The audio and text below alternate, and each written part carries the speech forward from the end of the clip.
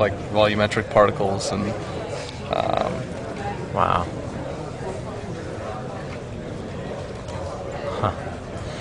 Is it is it possible to do um, like an external controller at this point, or is that totally? You can you can do that. You, you can actually create a uh, if you if you have an iPhone or really a, an Android device, um, any really anything with a touchscreen, you could pair it with Okay. this via it could be done via Wi-Fi or Bluetooth if that's set up, and control it with with that.